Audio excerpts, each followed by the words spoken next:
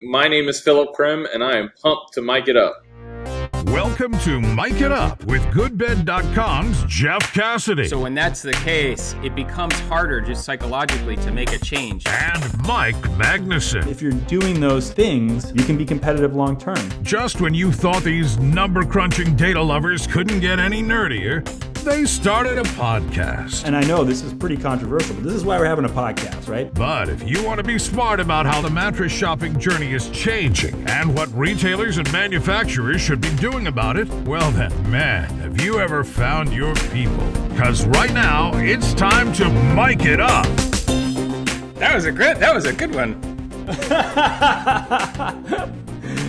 All right, good. So uh, awesome. Well, first of all, how are you, man? It's been a, it's been a while. I mean, I was in your office like in what February? Yeah, right before the pandemic. Uh, Yeah. I remember that you were visiting New York, and we caught up, and then you know, two months later, the world shut down, and the office is closed, and our stores are closed, and uh, you know it was a, a pretty wild 2020. Uh, still still a wild time. So, uh, but I, I'm well. Thank No you. Thank doubt. you for asking. Yeah, and that and that feels to me. I don't know if, the, if, you, if this resonates with you, but that feels to me like so much longer than a year and three months ago or whatever. I mean, that feels easily like three years It, ago. it feels like forever ago, and I, I don't know if that's COVID time or just uh, I don't know. The world works differently now, but yeah, it does feel like forever ago. Forever and yet Yeah. still one long day ago. Right. right. At the same, same time. time. One long Zoom ago. Yeah. Yeah. yeah. yeah, exactly. It's been uh, it's been quite a journey. And actually, I wanted to ask you what it was like for you. I mean, you guys went public in February, right? Like early February, February. and then the. I mean, and you're by the way, you go when you go public. For those of you listening who don't know this, you know you're required to put out a prospectus, and it's required to contain what are called like risk statements or risk factors, which which go on for like dozens of pages for any company. And and then here you are, six weeks or less into being a public company, and this massive thing, this massive disruption to your business happens, which probably was amazingly not even among the like dozens and dozens of risk factors you listed, because how could it be? And what was that like? I, you know, it was it was crazy. It was scary. It was terrifying. It was uh, unknown territory. Uh, you know, and there's a global pandemic that no one knows how that's going to shape out. You know, everyone's worried about their own health, their family's health. Uh, at the same time, you know, running a company and having a lot of employees who are looking to you to make decisions that can impact people's health um, you know, it was a, a really daunting, challenging time as as you know, just personally as a father, as as the CEO of the company. I mean, it, it was scary, and you know, it, it's one where I just remember like talking to the team about it. Like, we just got to take things one day at a time, and yeah, we were a public company, but I, I don't think that would have changed just how how frightening that time was for everyone. I mean, you know, the, the news was horrifying. No one knew exactly what this pandemic meant, how you caught the virus, uh, what the virus did to you. Um, some of the treatments were making people worse, uh, and so just, and of course, you guys were in the middle of it, being in New York. I mean, that was really that kind of, at least in the U.S., that was the epicenter. Yeah, it, it was really like. I, the second epicenter. I mean, Seattle kind of first, and then and then straight to New York. And and again, you know, sh- shutting down the office was a huge decision. We'd never worked remotely. Um, you know, allowing people to work from home, understanding what would that look like? Would we be productive? Would things fall apart? How would we work? We'd been hiring, so you know, what, what are we going to do with new employees who don't you know know their peers? Um, and so we, we just had to immediately kind of figure out a bunch of things. Like how, how does it work to have the company fully remote?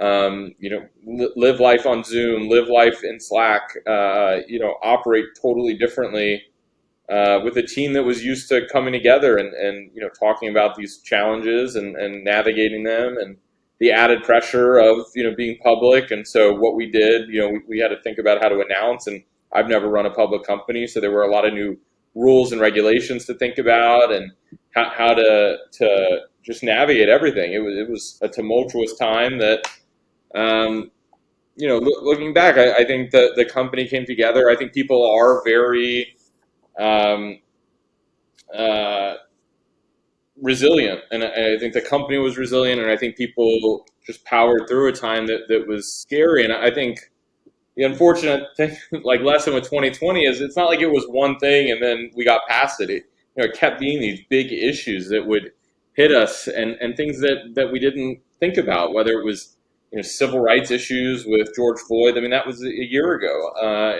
and thinking about um, just how to bring together a diverse workforce, you know, within Casper, and again, just what that means for us personally, and how that's impacting different people and, and families, and um, you know w- what that means for work, but also what that means for people at home, and how to make sure people are, you know, creating balance in their life when they are sitting on Zooms all the time, and you know, just reflecting on a bunch of different considerations throughout the year, and uh, you know, 2020 wasn't a fun one. I, I you know don't want to relive that one.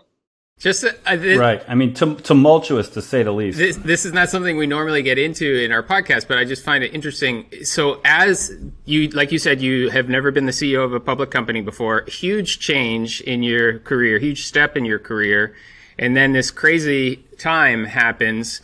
That can be a very being the leader can be a very lonely position in any circumstance, but especially in something like that do you have any kind of network of mentors or did you have people you felt you could go to? Like how did you yourself at a very personal level navigate through that that challenge? Yeah you know um, fortunately we we have a great board and uh, they, they, were kind of a good steady hand of folks who had been through you know similar not obviously the same but been through very tumultuous times uh, I, you know, I have a couple of, of uh, investors who were are partners of the business who have known us for a long time, and, and they were, I think, very good, sound, you know, advice and and people with you know lots of experience to lean on. Um, I have co-founders in the business, uh, so you know, worked with my co-founders on on how to navigate it. Um, and so there, there were a lot of people around the table who wanted to make sure we, you know, did the right things, made the right decisions. We're being very thoughtful about decisions that would impact the business and impact our employees and impact our customers. Um, you know, I work with an executive coach who, like, what he does all the time is just work with CEOs and founders on, you know, really tricky situations and, and making sure that we're thinking about things, uh, you know, as holistically as we can and trying not to be too emotional in a time that's full of emotionality and trying to, to make sure that we're not rushing to decisions in a world where you don't see a clear picture. Um, and so just trying to kind of stay level headed and, and, you know, be uh, a good anchor for everyone else who, you know, it, it's natural to spin in these situations. It's natural to, to look for, for guidance and, and points of, uh, you, you, know, clarity. And so certainly had, you know, people that I relied on for that and then tried to be uh, a good, um, you know, point of light or north star for people that were looking to me to help them navigate it uh, and the company navigate it. Well, congrats on weathering all yeah. of that, and and on top of that, in terms of maintaining continued growth in that time, and uh, especially as you put it, under the with the added pressure of being a brand new public company. So what a wild ride and I don't envy that you had to go through that but but congrats on coming out the other side and and sort of surviving and thriving. No, I, I, appreciate that and, and, it's certainly not to say that a lot of people had it far worse than, than us and, and far worse than me and so um, you know it's always good to keep the that perspective that uh, you know there we, we, we at the end of it when you look back like we, we did pretty well through the year and, and the company navigated the challenges and, and we did what we had to do to deliver for our customers and deliver for our retail partners. And you know overall came through the the you know 2020 as a year you know pretty well and, and pretty strong and, and are really excited about kind of what the future holds for us. So we, we definitely count ourselves lucky in that regard um, and, and are happy we were able to to weather things the way we did. I actually think we're now set up in a lot of regards to be stronger because of it Good stuff. Good to hear. All right, well, let's shift gears. I want to do this little lightning round that we usually do in the beginning, just to kind of uh, just stupid little fun thing that we like to do. All right, here we go. So it's just going to be really quick questions, quick answers. Have fun with it. We're coming into summer. Favorite summer activity? Well, I have a uh, little over two year old who loves the pool, and so I'm very excited for the weather to be warm enough to play in the pool with him. That's great. Awesome. You're in New York City. It's hipster central. How do you feel about handlebar mustaches? I, I'm not in, uh, you know, hipster epicenter of you know East Village or, or Brooklyn, so probably not the biggest fan out there. And and I really can't grow facial hair, so definitely not something that will ever be in in my future. All right, that was my next question. You took that one right out of my mouth. Uh, uh, in what non-sport activity? We're coming into the Olympic season here. In what non-sport activity, though, would you be most likely to win an Olympic medal? I, I feel like eating or drinking might be the right answer. It's a competitive field. Watch out. yeah, especially through COVID, I've been Yeah, able to hone in my That's- skills very well. uh, all right, scale of one to ten. How good of a sleeper are you? Uh, this is a point of pride, so I, I think I'm a, a nine plus. Nice. Nice. Who should play you in the movie about your life? Uh, Is Brad Pitt or George Clooney available? I don't know. I'm assuming. I'm assuming they're going to be both lined up and vying for it. All right. What's your favorite holiday?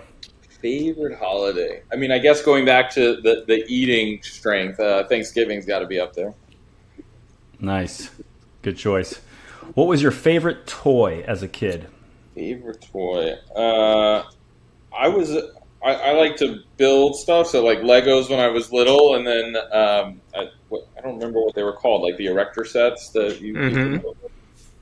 Yeah, I think they Yeah. were called erector sets. Yeah, yeah. I, I identify with both of those answers. Uh, best music decade of the past 100 years. Music decade. That's a good one. I would say. I mean, I listen to a lot of like. 90s 2000s because that's what i grew up with i guess but you know 70s is becoming more and more uh, probably popular in our household so i don't know I, i'd say we're Nice. a, a generalist household for sure I thought you were going to say more popular with the decade handlebar mustache crowd. but- What's the last thing you asked Siri? The last thing I asked Siri uh, to play Wheels on the Bus for my son. nice. That's a good one. If you had a walk-up song like a Major League Baseball player, what would it be? Oh, that's a good one. Um, uh, I, I feel like because all I do is talk to investors and raise money, like uh, you know that song "I Need a Dollar." Um, I feel like that's That's a good one. Absolutely. All right, and last question: What's something that made you smile recently?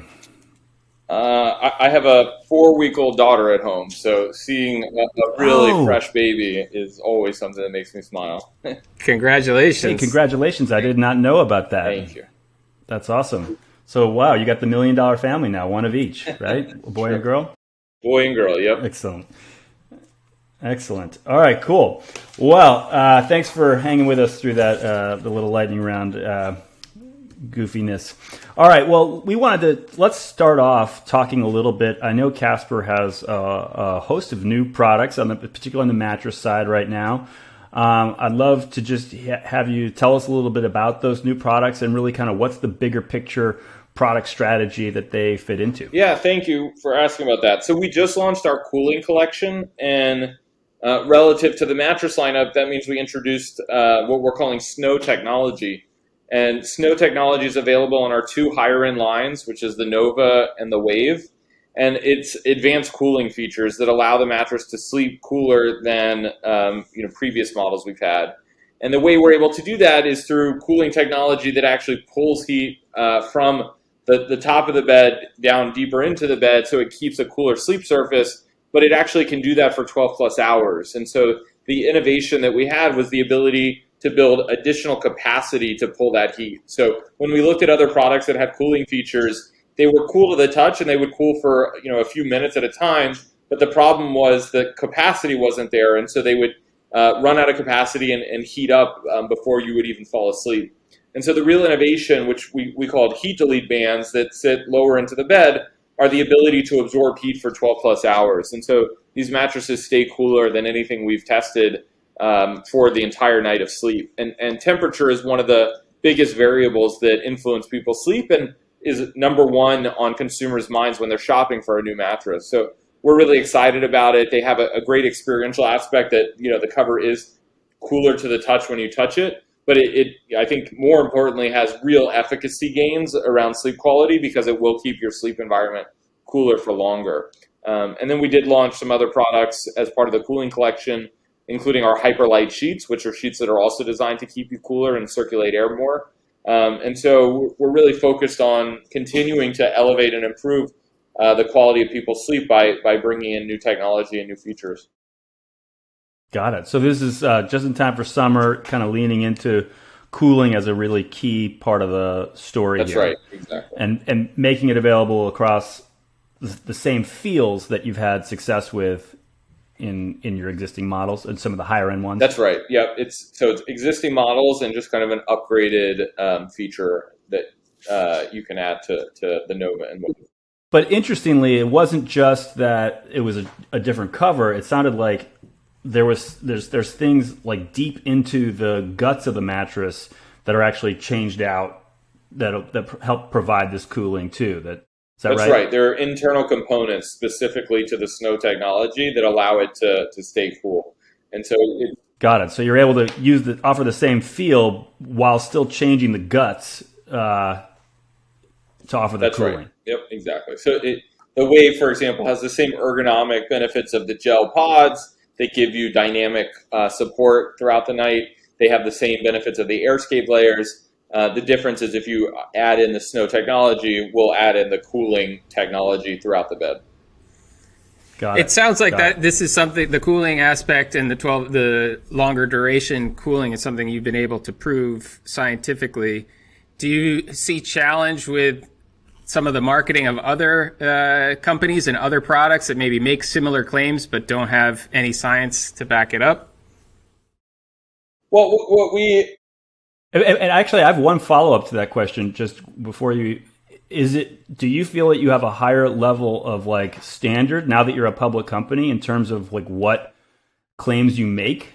Do you have to? Is, is there do you have a legal department now that's down your neck about you know proof of these things more so than you would have had as a private company? Um, so, so one, um, I guess, regardless of private or public, we've already always had uh, pretty high standards that we would hold ourselves to, um, and and so the legal standards don't change whether you're private or public, and so you know our our views on what we would do haven't changed.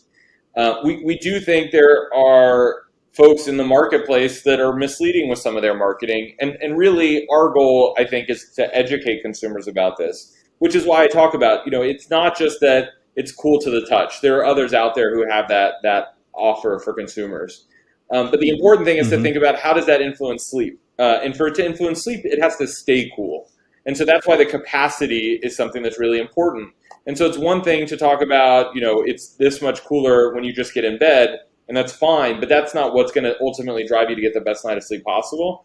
And so it's tying our marketing claims into actual research that we've done, and we have uh, Casper Labs is a part of our office setup where we have a sleep lab, and so we test this, and we have sensors, and we have data around all of the testing that we've done, and we've compared, you know, to, to identical beds that that have the technology and not, and can quantify the benefits. And so we, we have to substantiate the claims we make, of course, before we make them.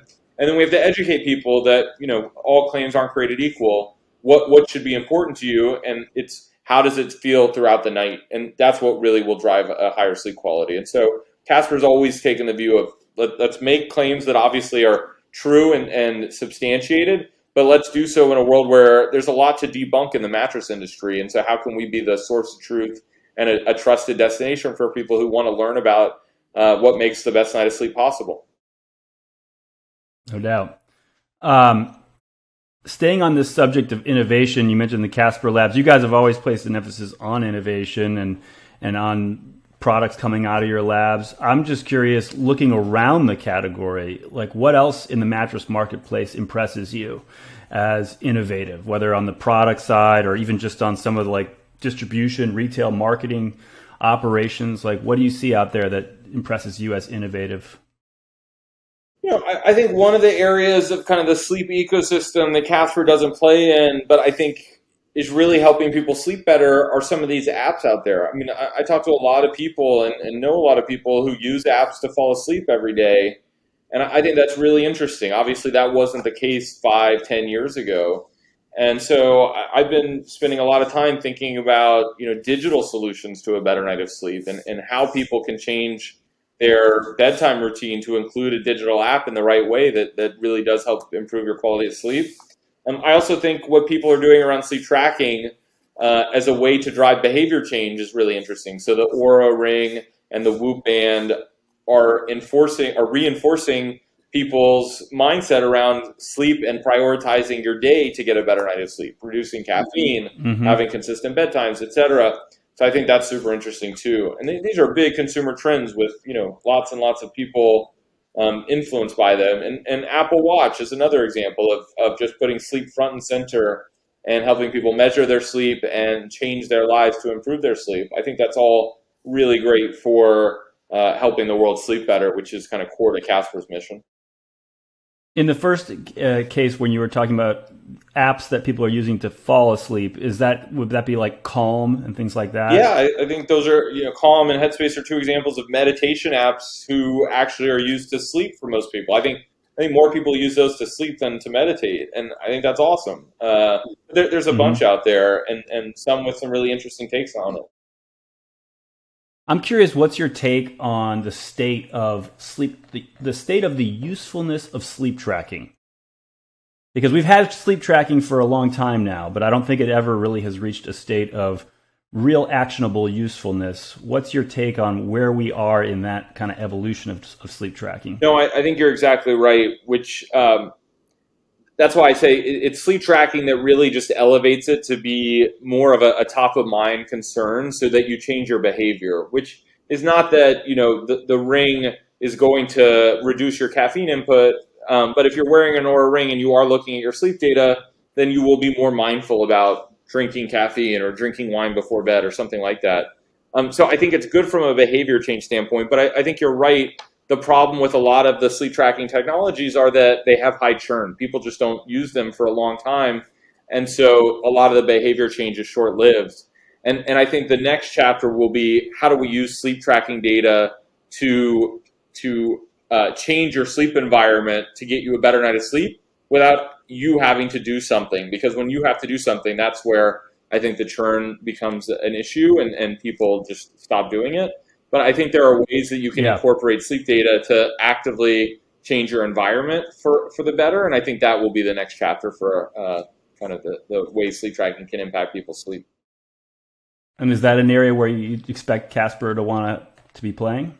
Um, I think I think we've we, we continue to pay attention to the entire sleep ecosystem, and, and we have products that influence different variables. So you know we talked about temperature. Uh, the Casper Glow Light is a great example of how we can influence the lighting when you're falling asleep and, and when you're waking up. Um, and, and I think when mm-hmm. we think about, you know, five, ten years from now, w- what do people's bedrooms look like? We think it will be uh, ones that are using sensors, tracking your sleep, influencing the sleep environment so that all of your senses are optimized to help you fall asleep faster, stay asleep longer, and wake up more gently. What? Let's go. Let's shift back to uh, mattresses. I mean, w- and talk about sort of what the future holds. I know you can't release information about products that haven't been released or whatever, but but just big picture. Um, I mean, how much more product line expansion uh, uh, potential or opportunity do you see within mattresses for Casper? Is this something where like it's unlimited, sky's the limit kind of lots of models out there, or is it like you just see a couple gaps here and there that maybe you want to fill? I mean, what what do you see for the future there? So um, within our mattress business, I still see a long way to to go to kind of expand our lineup over time. Um, and, and part of that is talking to our retail partners and understanding what do they want to see from us and, and where do they think we should play. And that, that was part of what went into the snow technology development. Um, we had retail partners who said, we think you can sell a, a higher priced product. We think that if you add in more differentiated technology, it will sell really well. And so far, we launched the snow technology in our DTC channel, so it's in our stores and on our website, casper.com. But we're quickly going to take it into our retail partnership channel, and um, we, have had great reception of people who want to carry that and will give us additional slots to do so because we use their feedback to, to drive that development. And we, we have lots of other feedback. So there, there are definitely room, there, there are definitely a number of ways and lots of room for us to expand our mattress lineup. But I, I think we're also very excited to expand our non-mattress lineup. And, uh, you know, there are lots of products that can help people sleep better um, that I think Casper should have in the market. And some of these are categories that we're in but can expand in. So pillows are a great example where for a long time we had a single pillow that we designed with a pillow and pillow construction that used a synthetic fiber material. But upon doing more mm-hmm. consumer research, we, we discovered, you know, some people love their foam pillows and some people love their down pillows. And so now we have more options for consumers within um, our pillow category, and, and, the pillow business has been growing really fast. So um, I think there are lots of opportunities to expand other categories, to move into other categories, and then to fill out what we're doing in the categories where we currently compete. Do you see? You mentioned the snow uh, products are currently on your website, but not in the, the, retail channels. But they're going to be in the retail channels. Do you see overall, big picture, store products and your D2C products evolving separately or together?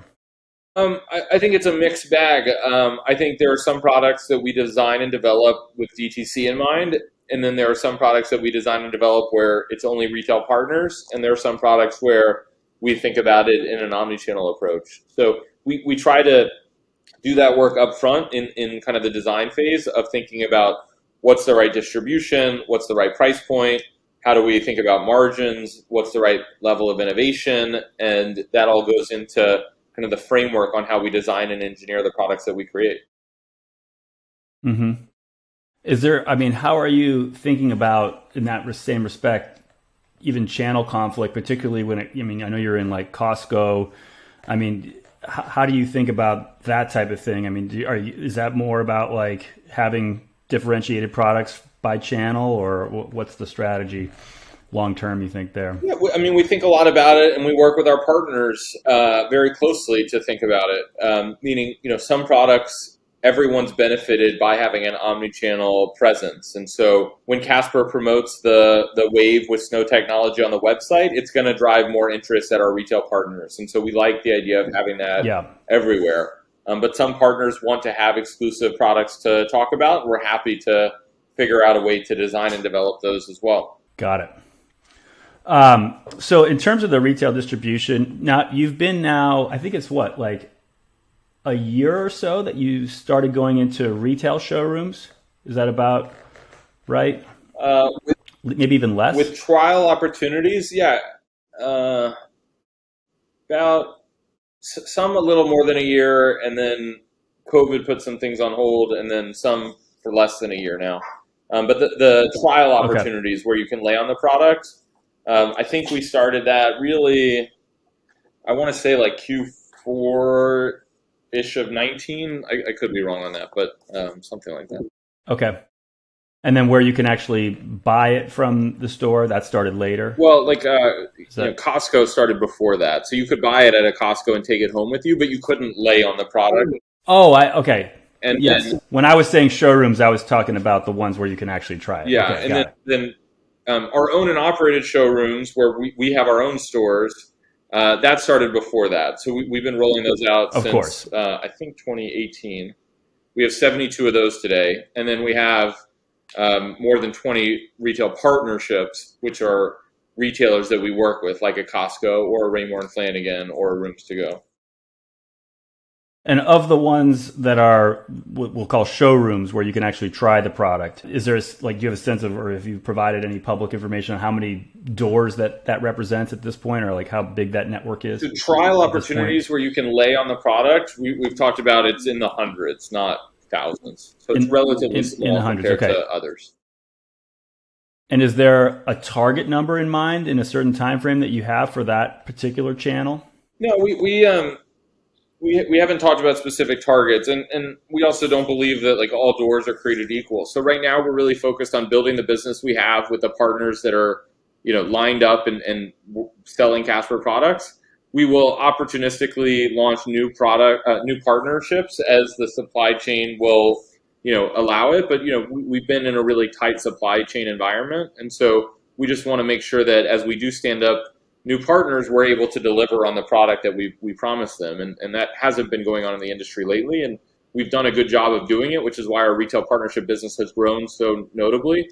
Um, you know, north of 50% in each of the last two quarters, and, and we want to continue to make sure we can flow inventory to the retail partners that we work with. That makes yeah. sense. And I think bef- prior you had talked about um, previously, not today, but in, in general, about 200 as a target for owned and operated stores. Is that still the idea, separate from the supply chain challenges of the moment? So um, we've talked about long term how I believe that Casper can support north of 200 stores, and, and I, I think that's still true. Um, the pace on on opening doors are what's changed with COVID, and so we continue to look at store performance and we'll monitor it and how the retail world reopens and how our stores perform uh, will drive overall the pace of, of opening up new doors. We're, we're, not opening up a lot of doors right now. We have 72 doors today. Um, and and uh, overall, though, I, I still think retail is going to be really important to our brand, to our business, to the industry at large. And we're really excited by the experience that our stores offer to consumers. And we think it's a great complement to the retail partnerships uh, that we have who offer, you know, a, a, selection of our products as well. And uh, we see a great, you know, opportunity when we look at DMAs and markets where we have our own store, our dot .com business, obviously, and a retail partnership with the right locations. Talk about that a little bit more, if you would. The the how it's complementary because you guys have been ha- operating your own stores. I mean, even before you mentioned 2018, you were doing the pop ups. I'm sure you were learning a lot from those, and now since then, from these more permanent stores, I'm sure you've learned a ton that maybe you couldn't necessarily learn through a third party retailer intermediary. But I would imagine that a lot of those lessons you can now impart and translate to your retail partners to their benefit. Like uh, can you give any examples of sort of success stories on that front, or just being able to share learnings with your retailer partners? Yeah, we we um, so our stores have really high foot traffic. We put them in very visible locations, oftentimes next to a Lululemon, to an Apple store. And, and part of that is because it helps elevate the brand, it helps build brand awareness, and it's a source of, of education for consumers. And a lot of times we hear anecdotally consumers who went into a Casper store to learn more about the options and then ultimately bought at their local Raymour Flanigan or bought at their local Denver mattress. And so distribution can be about education and awareness, and it can also be about convenience. And so that's where we think these are, are channels that work together to be accretive for um, the overall business at Casper, but but good for the partner and good for us. And, and that's why we do call them retail partners.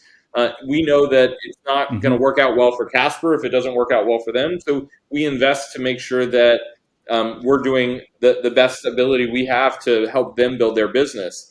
Um, and to your point, th- these are learnings that can be applied across the different channels. So as we learn how customers want to shop for the snow technology, for example, we're then able to educate our field sales team, and the field sales team could educate the retail store associates of our retail partners so that they have the the latest lessons learned on how to sell products, how to position them, uh, and all the things that it takes to drive a, a great you know retail business today.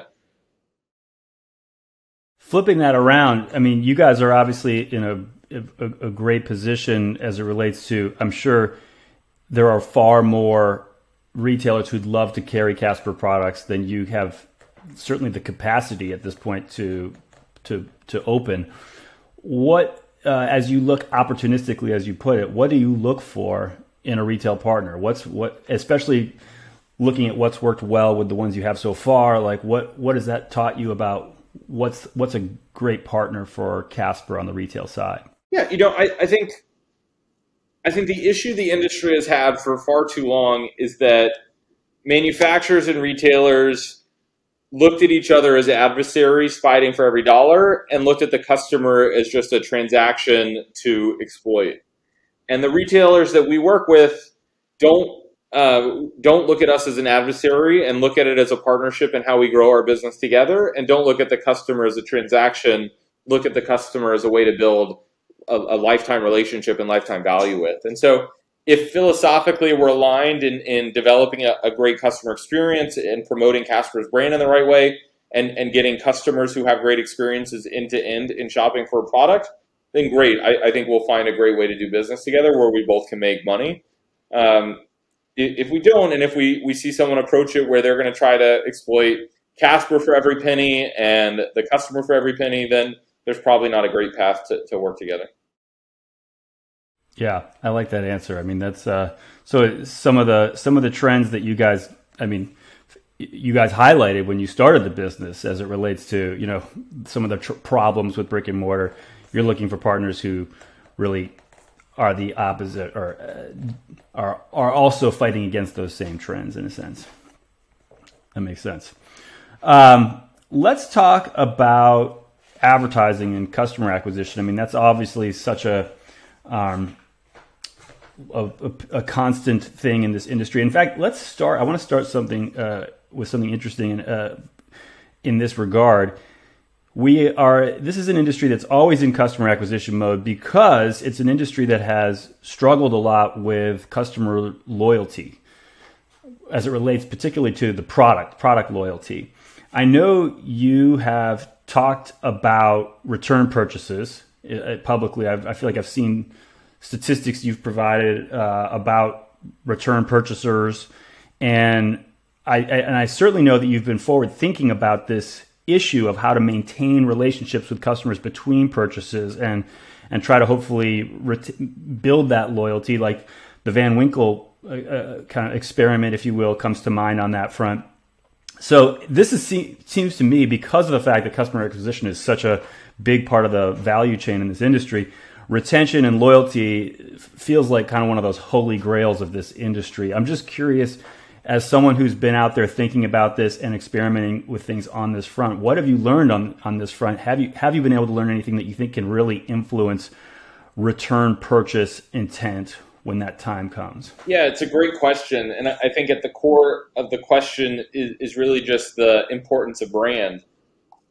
Um, I think we, we talked about this at the time of the IPO was that, um, uh, and, and, feel free to, we'll have to double check this, but I think it was that north of 20% of uh, our, our business was coming from repeat customers. And uh, that's obviously speaking to that there's significant lifetime value with our customers. And it's because customers remember the brand. They remember Casper. They had a good experience with Casper. They like the products and and we've always put the brand front and center of the business, and we've put the brand as as a moat around our business. Um, and and brands matter in this industry. You know, there's a reason why Sealy, Serta, and Simmons are so sticky, and and why they still have the majority of market share. It's because brands matter. They uh, allow mm-hmm. the, the, that product to be immediately in the consideration set for consumers. And if if you're a brand that resonates, if you're a brand that's differentiated, if you're a brand that has real value, consumers will come back to you. And we're seeing that day in and day out with our business. And, and that's a core part of the value we're building over time. And it's one of the things that I think our retail partners can benefit from. If, you know, if you discover, if you learn, if you buy Casper from one of our retail partners, um, my guess would be that, that they're going to have a great experience and they're going to come back to shop um, often because they'll remember that. And, and that was something that we learned in some of the customer insight work we did when we started the business and that we continue to. You ask most people what brand of mattress they sleep on, most people can't recall it. Uh, you ask most Casper customers what brand of, of, bed they sleep on, they recall it. And so it's yeah, it's good call. Not making your brand start with an yeah, S. That's rule one. um, no, and it, it's a good point. It's you know it, it was it was a sea of sameness before Casper came along. It was a sea of off-white rectangular pieces of foam on a floor uh, that all sounded the same. And that's what one of the reasons it was so intimidating for consumers to shop for mattresses before Casper. And we really tried to rethink everything from how the bed looks, how it's constructed, how you shop for it, how you get information, how to make it more of a transparent process.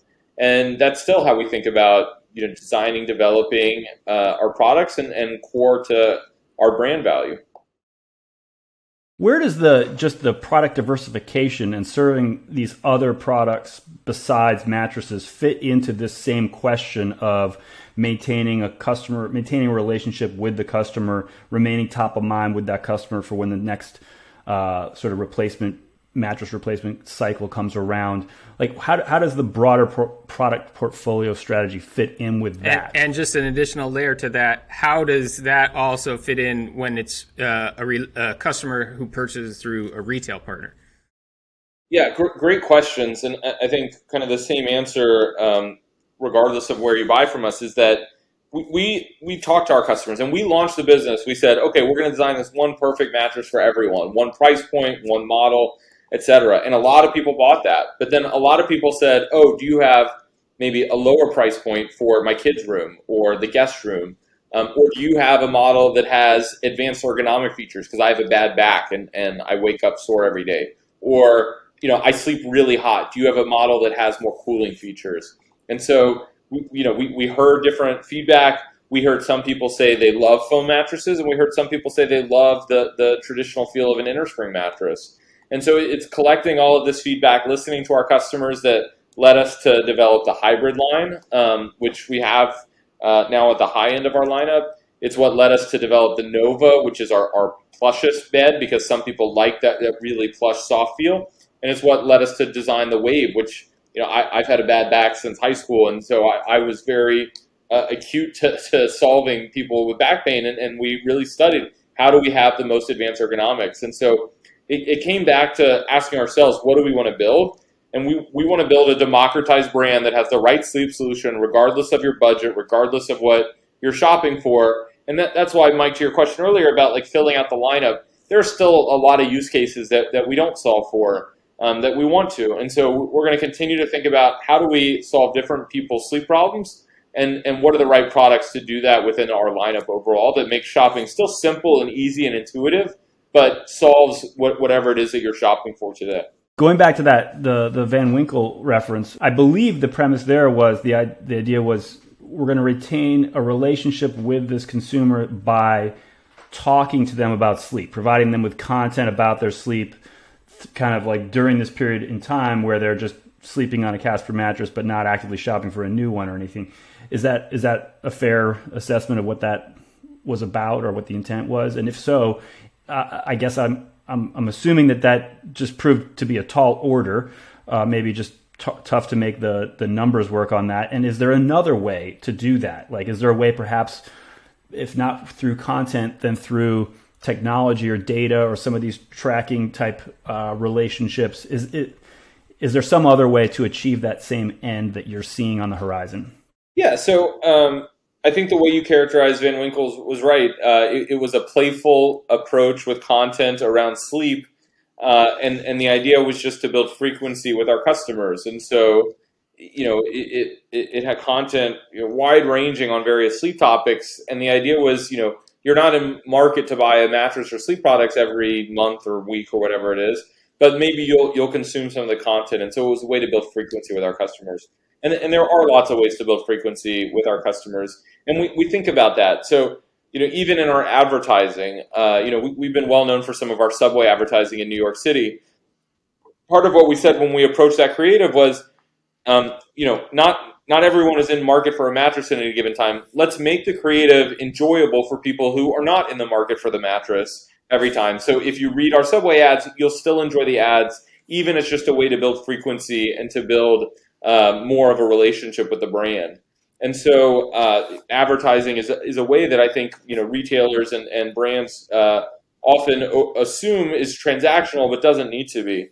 Uh, and th- there are lots of ways to do it. You know, you mentioned you know, digital digital ways. You know, apps, the the meditation apps that we talked about, that they do have a relationship around sleep that consumers are consuming daily, weekly, whatever daily. it may be.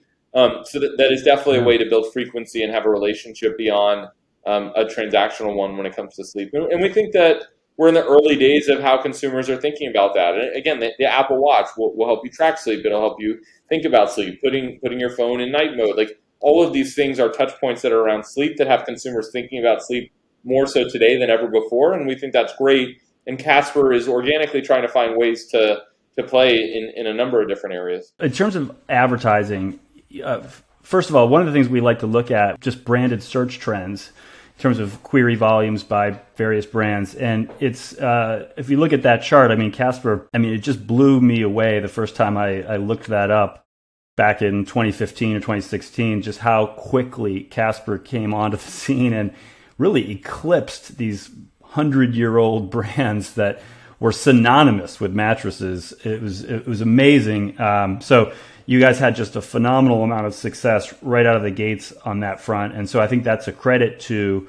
Obviously, it's a it's a it's a credit to marketing in general because the best way to, I think it's a, it's perhaps the best proxy for the overall interest you're generating in the brand through your marketing. So um, kudos, and you guys have obviously maintained that uh, over the, over the last few years as well, even beyond when that initial PR frenzy of those 2015, 2016 years wore off. But um, I guess I'm I'm curious about how you think about marketing efficiency. I mean, I, I, one thing I think that's that's unique about Casper relative to some of the other D2C brands is you've used more traditional advertising. You mentioned the Subway ads as an example, which were great, by the way. Um, but the uh, but you've used more traditional advertising, and I feel like in the statistics of marketing efficiency, it looks like maybe your efficiency looks lower on a relative basis, perhaps as a result of that. Like, how do you how do you think about that in the scheme of your uh, approach to advertising? So, um, I'm a believer in television as a, a, channel of advertising. I think channel vision drives better performance in every other channel of advertising. So the more you advertise on TV, the more Google search there is. So I think part of what you're saying from a, a an efficiency standpoint has to do with how you attribute um, purchases and how you think about it on a blended basis, I, I, think we actually spent less on sales and marketing as a percentage of net revenue than Purple did last quarter. Um, I think, um, if not, we're, we're, always kind of very close. So I think we are very efficient with advertising, and I think um, brands that want to build uh, reach and, and brands that want to build frequency have to think about advertising across a variety of different channels. And I also think digital channels today are getting really expensive, and you're seeing CPMS in Facebook and Google uh, reach, you know, certainly pre-pandemic levels, and and you know, there's a lot of of kind of fighting for that that eyeball or that you know impression, and so I think the you know best advertisers out there are thinking about how to deploy dollars to grow their business in in you know uh, less obvious ways or more of a diversified way, and I think that's something Casper's always been very focused on it's funny that you say uh, less obvious, and I think what you were saying is that like the traditional media is less obvious, where the digital was the obvious, because in the as you know in the history of this industry it's really been the other way around. I mean the way people they, they're like oh digital? That's so counterintuitive. We could do digital advertising that targets active shoppers? Wow i never thought of that. But you're thinking of that as like the baseline of obvious. Of course you got to try to do that as much as possible uh, and then you're looking outside of that to the to the more broad reach media as a as a less obvious thing, which I think is the right way to think about it.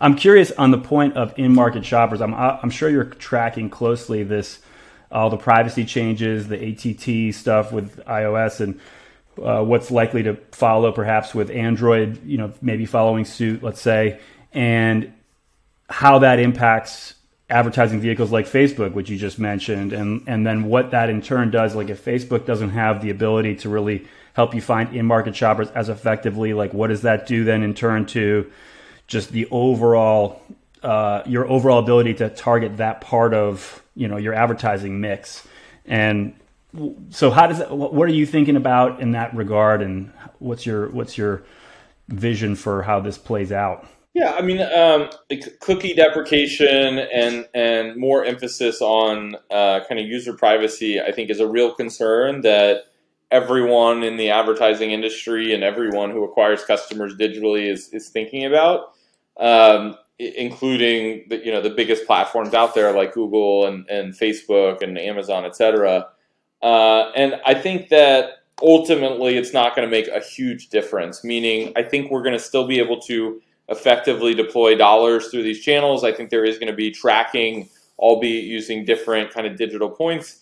I think we're we're focused on other uh, tools of measurement like attribution modeling and, and media mix modeling and just ways to triangulate on media efficacy uh, differently than just cookies. And I think the platforms are very focused on it and, and have the ability to do different things uh, to supplement what we were using cookies and, and other tracking methodologies for. So I think long answer short, I guess uh, I think we'll we'll all figure it out, and um, I think there'll be a, a, period of kind of change in just how we we navigate that. But um, overall, I think it, it's not going to change uh, how companies ultimately deploy dollars and see sales come from that. I mean, that being said, you guys are obviously in a very different position as being obviously one of the very largest and most successful uh, disruptor or whatever, just mattress brands in general. Um, and on top of that, uh, having a, a, lot of people, big scale to be able to do some of the things you just described. I'm curious if you if you look at this from the standpoint of some of the smaller D2C brands out there. I mean, do you think that this has the potential to even affect the viability of their businesses, or do you think that the tools that you just described and the and the workarounds will be equally available to a smaller D2C brand? I think for for those companies, um, they have been and will continue to be reliant on the platforms. And Facebook and Google and the platforms are very heavily incentivized to help um, smaller companies figure this out in more of a self-service way.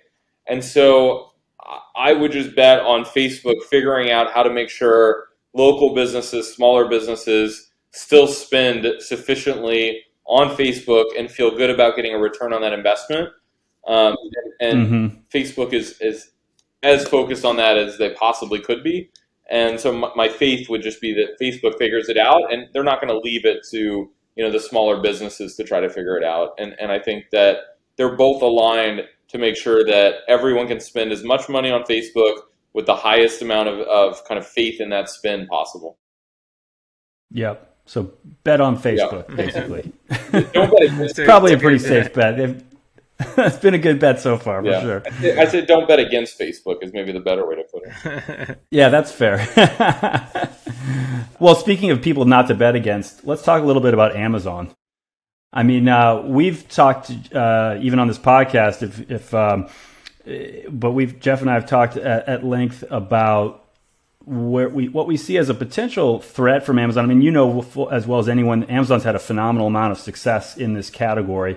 The problem we see for Amazon, um, not just as a competitor uh, to to any retailer, but also as a for a brand, you know, someone that you're maybe evaluating how much to lean into in terms of where to put your products.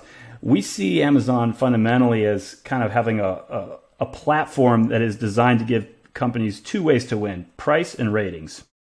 And then, unfortunately, in this category, the cheapest mattresses are kind of just structurally advantaged in getting high ratings. Because you know, you ask them after two weeks, you know, it's showed up. What what is it? It's a mattress. Yeah, that's what I thought it was going to be, and you know, it's fine. It's nothing's, you know, it hasn't broken in two weeks. So yeah, five stars. It was cheap. It, it was a mattress. It met all my expectations. Five stars. So, you know, as a result, when cheap mattresses get high ratings and you only have two ways to win, price and ratings, it really just leaves price. And so we see it as kind of no accident that it's the cheapest mattresses that do the most volume on Amazon. It's kind of the only way that story could ever play out. And my question is, do you see a way from where you sit for a brand, a real brand like Casper, who's not just selling the cheapest product, who's who's selling premium products, to win on Amazon in the long term? Yeah, so I think the way you characterize it is is right historically. Was that in the past the two ways to win were price and ratings. Uh, the part that I, I would uh, you know add to that is um, today and kind of going forward, I think there's a third way to win, which is advertising. Um, I, I, forgot the exact stat, but it's something like Amazon's ad platform today takes in more ad dollars than Twitter, Pinterest, uh, um, Snapchat, and a, a, couple of others combined. Meaning, it is a massive ad platform that competes with Google and, and Facebook now as, as one of the big ad platforms. And Google, I mean, Amazon knows that that's a huge business for them, great margin, very profitable. And so increasingly, they're going to let brands win by paying to be more visible. And that's where higher price points can get more visibility. That's where higher price points can afford to be competitive with, you know, very low cost, high rated beds, but really aren't high quality beds when you end up, you know, thinking about them over time. Um, and so I think that is a change in, in strategy. They didn't have a big ad platform a few years ago, and I, I think they're increasingly focused on that because it's a it's a higher margin business for them. Um, and so I, I, do think you know we, we, actually have a great business with Amazon. You know we're, we're always keeping a cautious eye on it, and, and we've you know had pricing issues like everyone else before, but overall we think that they they can be a great partner. You can drive real interest on higher price point items that have the ability to compete on a, a broader perspective than just uh, price and value. I mean, sorry, It'll be interesting to see. That's a, that's a, it's an interesting point uh, about the advertising and, and the change of mindset there. I mean, it'll be interesting to see how much they allow those advertisers to kind of, I guess, be isolated from some of these other these these these pressures that otherwise exist in this platform. You know, like the fact that there's these other mattresses right there that also have high ratings and are that are much cheaper. I mean, even on like the I was on a Casper page on Amazon yesterday, and I saw like down in the videos section, it was just like a bunch of reviews of that supposedly were for Casper, but they were actually reviews of just other cheaper products, and a lot of times it was like best mattress under five hundred dollars or whatever you know, there's just so many elements of the platform that are really just designed to keep pushing people down to those products. So it'll be interesting to see if they somehow allow advertisers to remove themselves from those uh, those features that are otherwise kind of core to the platform. Yeah, it's interesting. Let's talk about the consumer journey. I mean, you have one of the best omni-channel vantage points of any brand, right? Now you're in you got your direct uh, online stuff, you got your direct O and O stuff, you've got your uh, retail showrooms that you're in, as well as the the kind of warehouse channel. I mean, you're basically as omni-channel as they come. What are you guys seeing in your data about how the consumer shopping journey is changing? And maybe even like more specifically, what data are you watching most closely to see how it's going to change going forward? Yeah, I, I, think the data that we see and, and, what we try to talk to customers about uh, to, to understand this more is just the interconnectivity of the channels. And so, there, in our mind, there's no such thing as like an ecom customer and you know owned and operated retail store customer and a retail partner customer. That uh, increasingly, especially as we get more and more distribution, customers are shopping all of these channels, oftentimes you know, either concurrently or within very short order of each other. And so that, that's where, you know, we think about consistency and, and giving people different things across different channels because they're in different states of mind, meaning digital a lot of times is more of a, an education process. It's exploratory. What are the brands I want to shop? Um, you know, retail partners, a lot of times it's convenience. It's, you know, I'm going to be at the mall on Saturday, so I'm going to stop by Lululemon, and the Apple Store, and Casper to pick up, you know, what I need for, for the house. Um, you know, COVID has changed consumer behavior too, and we see you know fewer destinations really trying to to aggregate your shopping across fewer touch points, and, and we'll see what that you know does over time. But it's really about this interconnectivity about how consumers are going to shop because it's a high consideration purchase. Um, so I think different retailers have different different consumer journeys, but ours is is one where we think you know consumers are spending time to shop to learn and then ultimately transact where it's most convenient. And and you kind of have to win on each of those. You have to win on the education phase. You have to win on, on kind of the quality and, and really, you know, being the best. And then you have to win on, on offering a convenient, um, you know, delivery and shopping experience. Are you able to track individual consumers across those different touch points, or is it just kind of looking at each touch point and sort of saying, are we able to win at this touch point, and then kind of separately, are we able to win at this other touch point? You know, it, it's it's tough, especially on the retail partnership side. You know, we have better visibility about how consumers connect between our stores and and our .dot .com. Um, it's mm-hmm. tough to get a full picture, and then you know there there are digital areas where people shop too that we don't own or control. And so, you know, it, it's not a perfect picture. That's why we talk to customers. We use anecdotal feedback. We, we do customer insight work and customer surveys. Um, we, we use data where we can. Uh, and then we ultimately just try to use insights and, and kind of go with our interpretation of, you know, partial data, partial anecdotal, and try to draw the right conclusion on how to improve the customer experience. Mm-hmm. What are you, um, speaking of, of data and what you're seeing, the uh, outlook and so forth. We've seen obviously like kind of a, a an explosion in demand in this category. You know, there's kind of really just in my mind mathematically two explanations for it. It's either like the demand got pulled forward and you have cohorts that are replacing their mattress that otherwise might have waited till next year to do it. Um, or you have some kind of externality that's like new household creation that's that's kind of coming in and and creating this added demand. I mean, what do you see as the what, what explains the increase in demand and how that translates into what the outlook looks like for the home furnishings category overall in these next 12 to 24 months? Yeah, so we see a, a strong consumer backdrop and a strong macro environment, and, and I think there's a, a few things. Um, one, you know, household formations and and people moving uh, did increase, and I think we'll stay strong because we are in a scarce supply environment. So a lot of people are waiting to move, but low interest rates means that people can buy and people are moving. And there are people who you know wanted to move to the suburbs because of what happened. There are people who now want to move back to urban centers because of what happened. And so I, I just think moving is going to be elevated um, for some time now, and, and I think housing will be strong because of the macro environment.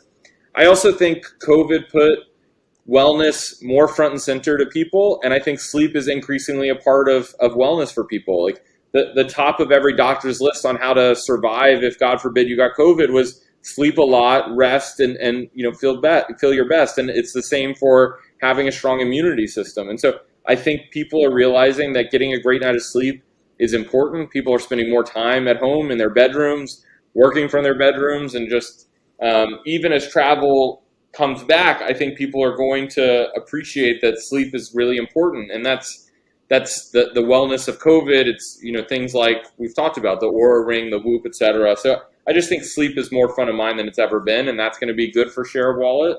And then um, overall, I, I just think that people are hearing more and more about new sleep innovation, and and it's going to drive good replacement cycles. And so I think. Um, you know, there wasn't a lot of innovation for years. And then over the last several years, you know, Casper and others have come along and talked about the latest and greatest and really new sleep technology um, in ways that I think are driving people to replace beds sooner than later. And, and um, I, I also think there were a lot of really inexpensive beds bought that require replacement sooner than later. And so I think all of this is, is good to see, you know, unit and dollar volume increase for the industry for what I believe will be years to come. It's good rosy picture there. What about like speaking of, of, years to come? What do you, as you look forward to the future of this industry? Let's talk about like five to ten years from now. I mean, what do you think this industry looks like, whether in terms of kind of product innovation and technology, or the consumer journey, how that is going to look, or competitive landscape is another thing. I mean, it's been obviously a, a uh, pretty uh, blood blood infested waters for a long time now. What what do you think this industry looks like in five to ten years? Yeah, so I, I think you're already seeing kind of a, a, normalization period for the industry, which you know if you think about kind of um, normal disruption phases or normal innovation cycles, we went through kind of the phase of of uh, a lot of change, a lot of disruption, a, a lot of options for consumers.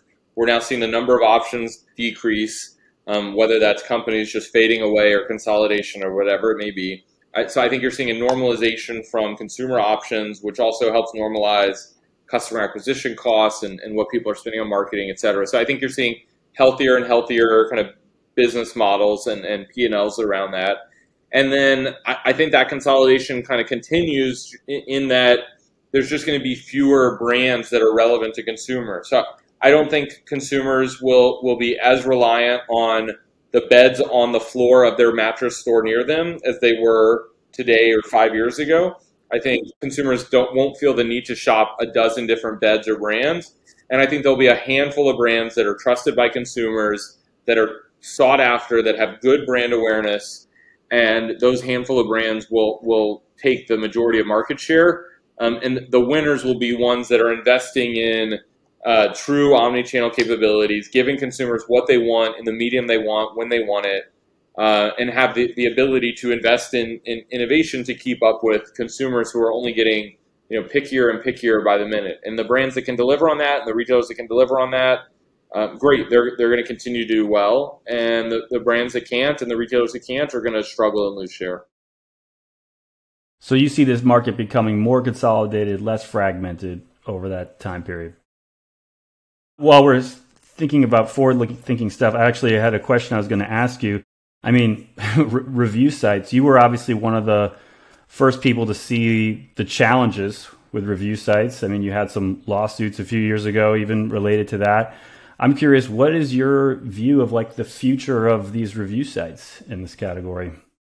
You know, I, I think unfortunately for consumers, there are still good and bad actors in the review site landscape, and and I use the term review site loosely. I think a lot of them are affiliates who are purely play uh, pay to play. Uh, my hope is that that also gets more transparent, more consolidated, uh, and that consumers increasingly know what they're reading and where it's coming from and why that source is saying what they're saying. And so I think there are trusted sources out there like Consumer Reports and others. Uh, and I think there are a lot of uh, sources out there that aren't, it shouldn't be trusted.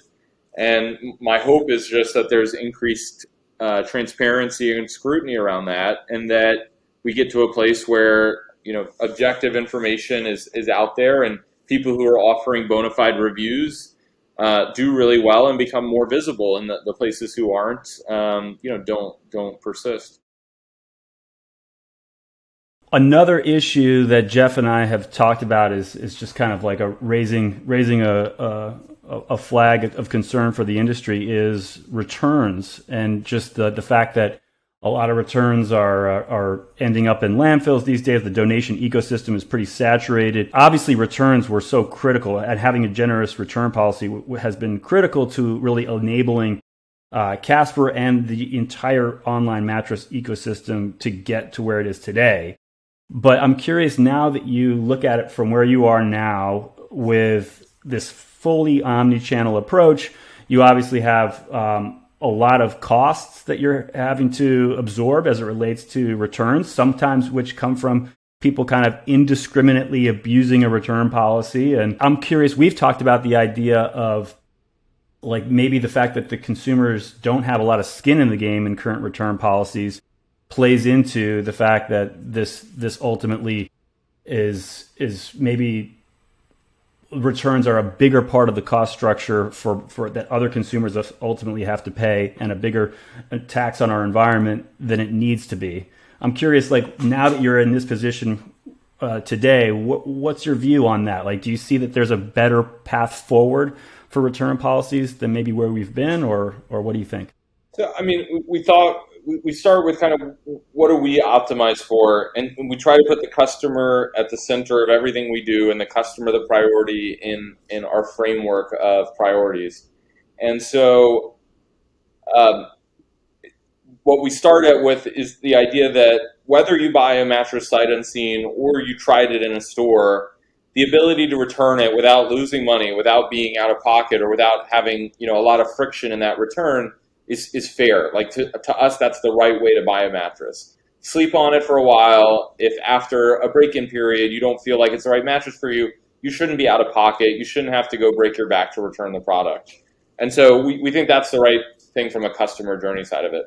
Um, there are, of course, other priorities that you mentioned, like uh, the environmental impact and what the return process is like and the financial impact. And, you know, over time, there's always abuse in any system, but we, we feel like uh, there, there's less people abusing it. There, there's just less people shouting about, you know, take advantage of our return policy, unlimited returns, things like that. So we think the industry's rationalized. We think competition is, is kind of thinking about things um, in, in, a fair, you know, orderly situation. I think there's definitely room to, to for the industry to improve its environmental impact, and we're doing a lot around ESG initiatives to think about that and ultimately act on that. Um, and so there are a number of considerations, but again, our, our guiding principle has to do with what's the right thing for the consumer, and then we'll work backwards to, to try to optimize everything else. Fair enough. All right. Well, then, last question, unless you have anything, Jeff, I just want to ask um, Philip, is there anything I didn't ask you that you think is important? Always a dangerous question. Um, I feel like we covered a lot of ground. So. Uh... we did warn you that it was going to be a nerdy podcast. I mean, that's okay. What I listen to, so all good. All right, well, great. Well, this has been awesome. We really appreciate you being on the show. Thank you so much, and it was a lot of fun having uh, going through all this. And thanks so much for just being so open with everything. And uh, I'm sure this is going to be super in- insightful for all the people listening to it. Thank you for having me, guys. It was fun. Uh, I really appreciate it, and uh, I'm happy you guys are doing this podcast, and uh, uh, happy I could join. Awesome.